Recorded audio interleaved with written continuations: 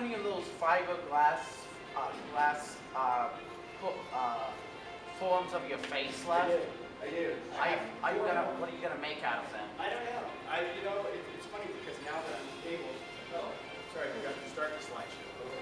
That's kind of an important. All right, here we go. All right. Um, I do, and, uh,